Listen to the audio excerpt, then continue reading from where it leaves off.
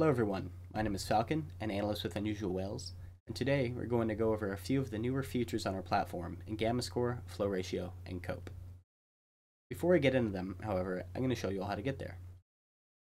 You're going to want to navigate to the top of the screen and click on the Flow tab. From here, go to the left sidebar and click on Intraday Analyst. This will bring up the main landing screen for Intraday Analyst. Up in the top left is search bar. You can search for whatever ticker you want, be that Qs, Apple, SPY, or anything under the sun, really. We have most of it. But this is going to be the main focus of the video, this chart right here. So these are gamma score, flow ratio, and COPE.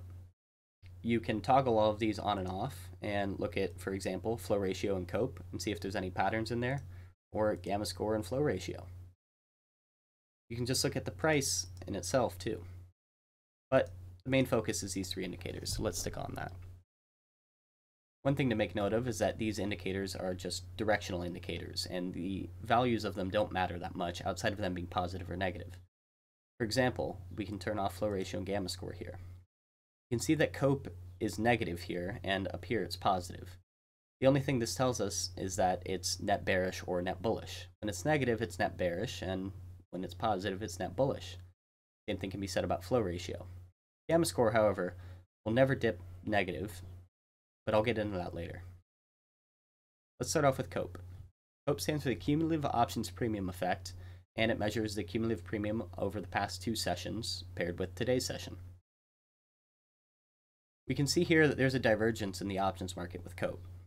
COPE is trending downwards and leaning net bearish in this first panel, despite the price of Qs going up throughout the day. This could lead to a lot of things the market is bracing in bearish movement in Qs, or it's a share driven rally and people are hedging. It's hard to tell, but this is a good example of a divergence. You can see in the second panel, COPE rips upwards and hits positive within a couple hours of market open, and stays trending upwards throughout the session, despite Q's stock price staying flat. You can see here at today's open, there's a pretty big rally, followed by a very sharp drop throughout the day. Could this be from the first panel's pricing or the second panel's? It's hard to tell. We don't know where the market's headed. We just know what these values say. Next, we're going to go into flow ratio.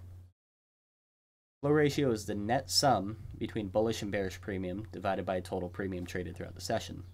Unlike COPE, this isn't cumulative, meaning it doesn't span multiple days. So the flow ratio value you're seeing is only applicable for that day. You can see here that flow ratio trended downwards and was negative, much like COPE. However, in the second panel, it trended upwards throughout the session, again, much like COPE, and started fading in the afternoon, following the price of Qs pretty well. However, here, it didn't seem to be affecting it that much at all. You can see in today's session, flow ratio dropped right out of the gate, and then stayed flat since then, meaning the market's slightly bearish, but it's staying pretty neutral as far as the options premium is concerned despite Q's stock price falling rather rapidly. From flow ratio, we're going to go into gamma score. Gamma score is the total call gamma traded for that day on that ticker divided by the total gamma traded for that ticker in the day. We can see here the gamma score fell right out of the gate in this first panel and stayed relatively flat with an end of day rally. Despite Q's ripping in the morning, fading a little bit, and then continue an upward trend, Gamma score stayed relatively neutral, but ticked up in the last couple hours of the market. Sometimes gamma score will reflect the actual price of the stock very heavily, which means that the options market could be steering what that stock is doing for that day. Now, this isn't verifiable, it's just a theory that we have. The good thing about these tools is you can come up with any type of strategy you like and see if it works. It's the beauty of the platform. You can see here, with Q's early morning rally in this third session, the Gamma score ripped upwards, followed by a quick fade and staying relatively flat for the afternoon. This means that, well, the morning had a lot of call buyers, and as sentiment has tapered off throughout the day and Qs has fallen, the total call gamma has stayed relatively neutral, meaning there's less of an amount of call buyers in the market than there would typically be, since this value is a little bit low. Again, these values aren't concrete and the actual number doesn't reflect anything. It's the relative number that we care about. For example, in this first panel, heading in the second panel, gamma score is quite high, meaning there's a lot of call gamma being traded in the market. Versus down here, when gamma score is theoretically less than 50, this is one of its low zones, meaning there's not a lot of call buyers in the market. Let's go ahead and look at some other examples. Look at Hood. At the time of filming this video, Robinhood Markets has had some rumors that they were going to get acquired. Now, whether these rumors are true or not, we don't know. We just report on the data. That being said, if we look at price and COPE, we can see COPE being positive in this first panel and trending upwards during the second session before the big news outbreak. COPE rallied along with the news outbreak and then fell in the morning session, but still remaining pretty net bullish up until recently. From COPE, we can go into flow ratio. We can see here in this first panel, there was a lot of bullish activity in the morning, followed by it tapering off in the afternoon, but still leaning net bullish. Despite Robinhood's price remaining relatively stagnant, we can see that there was more bullish premium being poured in the market than bearish. The second session starts out bearish leaning, despite Robinhood's price rallying a little bit shortly after. We can see that there's a huge spike in flow ratio here, which could have been somebody knowing about the news. It's hard to tell. That being said, this is not something to be ignored. Sometimes we can see COPE, flow ratio, or gamma score precede the stock price's movement, but it's not always perfect, so take that with a grain of salt. Again, we can see Robinhood's price here rallying in the afternoon when the news broke. And flow ratio was positive and started trending downwards, so somebody know? It's hard to tell.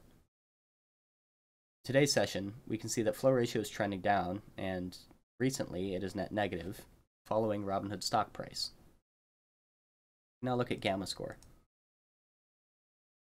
As I said earlier, gamma score can reflect the movement of the stock fairly well, as it did in this first panel.